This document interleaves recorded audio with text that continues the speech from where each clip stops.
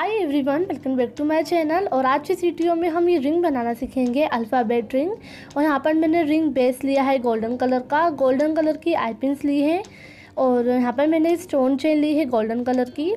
तो सबसे पहले जो आई पिन है, इस आई पिन को हम कट कर देंगे।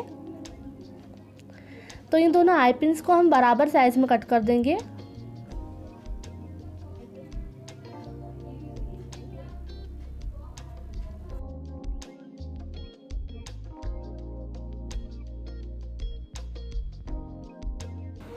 कट करने के बाद जो आई पिन है, इसका जो मुँह है आगे का, उसको हम थोड़ा सा ऐसे राउंड शेप में कर देंगे। प्लार से इसको थोड़ा से घुमा देंगे। और दोनों आई पिन्स में हम इसी तरह मुँह को घुमा देंगे।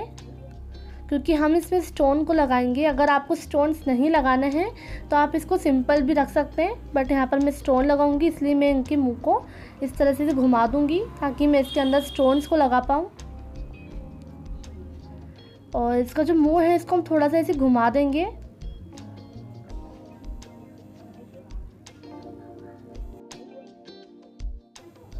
और अगर आपको अदर वीडियोस देखनी है हैंडमेड ज्वेलरी की, जैसे flower jewellery nose ring nose pin या फिर ब्रेसलेट की मतलब जितनी भी वीडियोस जितनी भी ज्वेलरीज होती है, उसकी वीडियोस देखनी है, या फिर क्राफ्ट की क्ले की तो उसके लिए आप मेरे डिस्क्रिप्शन बॉक्स पर जा सकते हैं। वहाँ पर मैंने सारी वीडियोस के लिंक को डाल रखा है तो वहाँ पर क्लिक कर कर आप सारी वीडियोस को देख सकते हैं और आप मुझे इंस्टाग्राम पे फॉलो कर सकते हैं। मैंने अपने अकाउंट के लिंक डिस्क्रिप्शन बॉक्स पर डाल दिए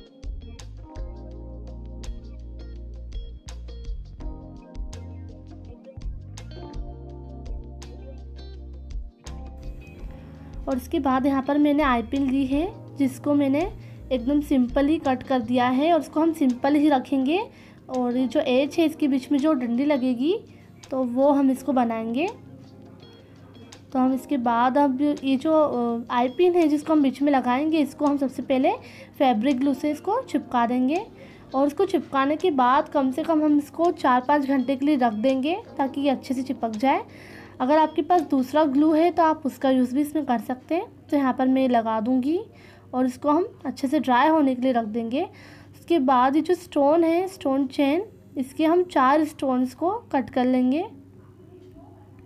मतलब अलग अलग कर लेंगे। और ये जो इसके आसपास हमने बनाया था राउंड राउंड तो इस पर हम फैब्रिक ग्लू लगाएँगे।